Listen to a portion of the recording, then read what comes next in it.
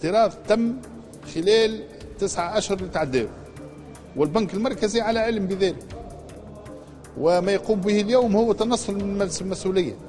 لأنه إحنا في ظروف استثنائية وفي ظروف جائحة.